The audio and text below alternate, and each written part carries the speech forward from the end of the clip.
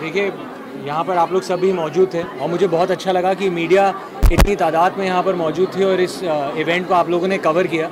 क्योंकि आप लोग भी ये बात इन्हों इनको आपने देखा, नाचते हुए, गाते हुए सुना, आप लोगों ने इनकी बात सुनी। कहीं पर भी ऐसा नहीं लगा कि दे आर लिटिल डिसेबल्ड या ये ब्लाइंड है। And I am surprise that they are so up to date in and the best part is कि इनकी जो सोच है, ये मतलब they want to serve the country कोई एनजीओ खोलना चाहता है, कोई आई ऑफिसर बनना चाहता है और हर तरह से सबने एक ही चीज़ कही कि अपने देश के लिए वो कुछ करना चाहते हैं, सेवा करना चाहते हैं, वो बहुत बड़ी बात है। I think everybody here is मतलब I was surprise and astonished in a way that ये कितना कुछ करना चाहते हैं। एंड बहुत अच्छी बात है मिस्टर समीर डॉक्टर समीर जिन्होंने ऑर्गेनाइज़ किया है। जिन्होंने पूरा खर्चा उठाया इस ऑर्गेनाइज इसे ऑर्गेनाइज़ करने के लिए।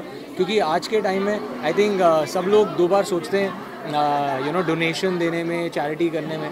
एंड यहाँ पर मिस्टर समीर डॉक्टर समीर जो हैं, वो इतना अच्छी तरह से इन्होंने ऑर्गेनाइज़ किया है और इन सबको बुलाया है। सारे बच्चे सारे girls all the princess India जैसा कि आप देख सकते हैं आई थिंक uh, मेरी तरफ़ से तो सभी प्रिंसेस हैं यहाँ पर and they all have they all saying कि वो सब कॉन्फिडेंटली यहाँ से वापस जा रहे हैं अपने शहरों में। So it's a very good thing